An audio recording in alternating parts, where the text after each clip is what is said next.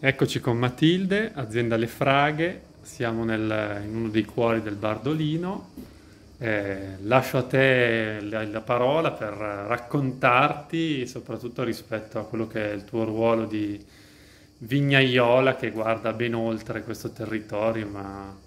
da quest'anno direi proprio a livello anche europeo, con un titolo molto importante che dà voce a tanti tanti colleghi. Però oggi torniamo in casa, parliamo della tua azienda, dei tuoi vini e vediamo lì sullo sfondo davanti a te anche due nuove etichette, quindi prova che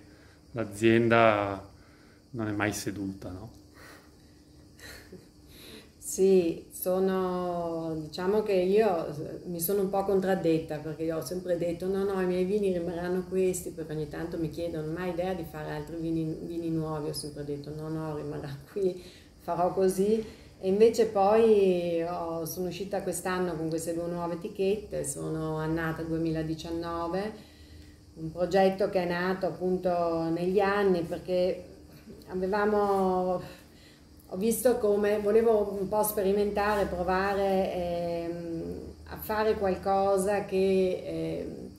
che fosse qualcosa oltre il mio chiaretto, il Rodon e oltre il Camporengo. Quindi su questi due vini, quindi un vino rosa e un vino bianco, eh, abbiamo fatto una selezione che poi insomma, abbiamo deciso proprio di uscire con l'annata 2019, una selezione di uve. Le nostre migliori uve sono state destinate a questo progetto e i due vini hanno fatto fermentazione e poi affinamento per un anno in, solo in cemento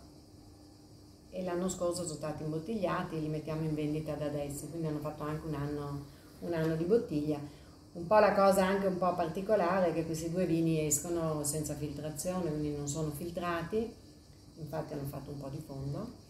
ma um, mi piace molto perché hanno una, una freschezza, un'integrità che è veramente secondo me molto piacevole e, e credo che sarà un progetto che proseguirà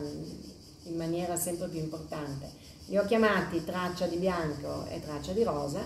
perché per me proprio questo è un vino, è una traccia nel senso di un segno, un, un, qualcosa come io ho pensato no, quando si dice la traccia sulla neve o sulle quindi un, un, un, piccolo percorso che è iniziato e, e, che poi magari chi verrà dopo di me eh, porterà avanti, intanto lo porto avanti io e poi sarà un po' un passaggio del testimone a chi verrà dopo e quindi è, ho deciso di chiamarlo così. Bardolino e Bardolino Chiaretto, come stanno questi due vini, questa denominazione? Stanno molto bene, per quanto mi riguarda. Eh, sono due vini che sono, devo dire, molto moderni, due vini che hanno una vengono molto apprezzati, soprattutto, purtroppo devo dire, soprattutto all'estero. Eh, uno perché è rosa e quindi mh, è un vino rosa ed è un vino rosa comunque di una denominazione importante perché è la prima denominazione in Italia e quindi gode di questa un po' rinascita dei, dei vini rosa L'altro invece è, sta andando bene ed è molto richiesto perché è un vino um, così, io dico, un vino che è estremamente facile da bere, da accompagnare, ha questa freschezza, questa voglia, cioè è proprio un vino goloso, hai voglia di berlo, di, di, e, ed è un vino molto, molto disimpegnato perché comunque se si può usare questo termine col vino, perché si può bere un po' con tutto e ha questa nota, no? prima un po' eh, si c'è il frutto, poi con un po' di invecchiamento diventa sempre più la spezia, il pepe, e quindi il, io trovo che, che, sia un vino veramente estremamente piacevole.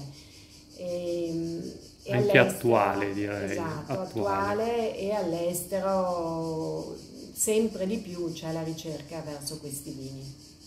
comunque vini di territorio. Adesso c'è questo progetto, ci accennavi anche di valorizzare ancora di più questa denominazione con le tre sottozone. Sì, sono vini di territorio perché queste proprio sono le, le nostre uve che, che, rappresentano l'entroterra del lago di Garda e quindi sono vini anche che hanno una, una storia molto lunga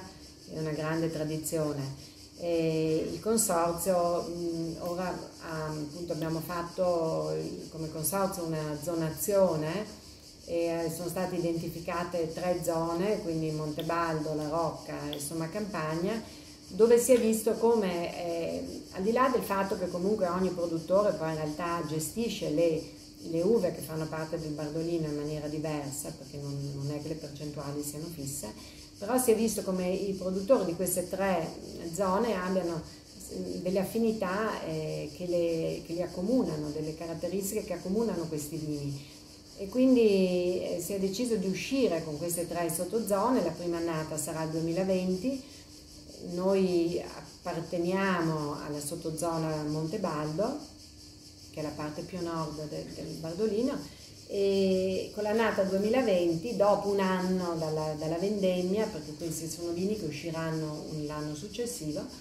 eh, si potrà uscire con la sottozona a Montebaldo. E, e, credo che questo sia un progetto molto importante proprio per valorizzare molto eh, le singole vigne, per valorizzare i vini che, che nascono eh, da particolari esposizioni, da, da, vigneti magari con rese un po', meno, un po' più ridotte e quindi quei vini che già esistono, perché non, stiamo inventando nulla di nuovo, è importante dirlo, ma sono vini che sono già sul mercato ma d'ora in poi potranno essere accomunati da, da, questo, da questo nome della sottozona. Quindi credo che anche per il suo consumatore sarà un po' più facile orientarsi all'interno della nostra denominazione.